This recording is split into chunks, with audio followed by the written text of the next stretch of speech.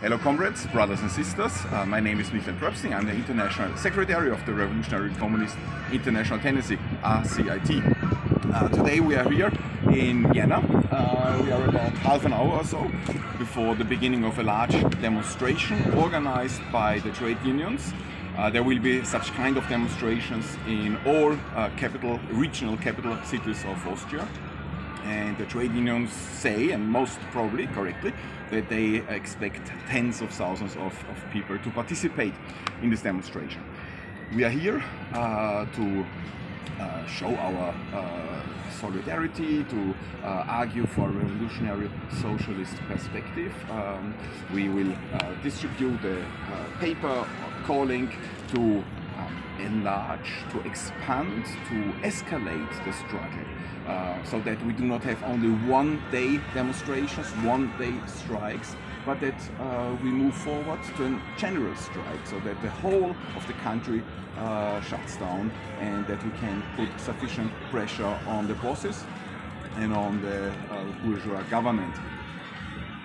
We say that such a struggle must, uh, must have the goal down these governments because these governments are centrally responsible for the price rises, for the policy which has been which has contributed to the drastic uh, escalation of the prices, uh, the lockdown policy during the COVID counter-revolution period, uh, the polity, policy of sanctions, etc., etc. We say such a struggle must also have uh, not only economic demands, which are crucial, price caps, uh, the expropriation of the energy uh, corporations. But in addition to such economic demands, it must also have a clear political uh, program because the current crisis, the food and energy crisis, is closely intervened, closely uh, connected, interwoven with the uh, with important political events. Most importantly, the Ukraine war and the Great Power Rivalry. We, as the RCIT, we say that we must fight in the defense of the Ukrainian people against uh, the invasion by Putin's army.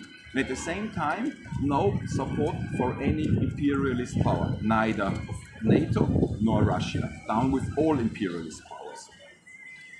Think such a political perspective, perspective is uh, crucial for socialists to argue for, um, because otherwise such protests might become confused, might be lim wrongly limited only to economic demands, or become confused with a uh, Putinista pro-Russian social imperialist perspective. This is not what we want.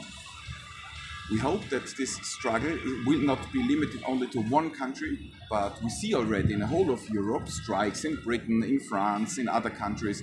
It's crucial to unite these struggles, to have an international response, an international fight back against the bosses, against the bourgeois governments, which try to utilize the food and energy crisis in order to push down our uh, living uh, wage, and this must not happen. Thanks a lot. Forward in a struggle for socialist revolution.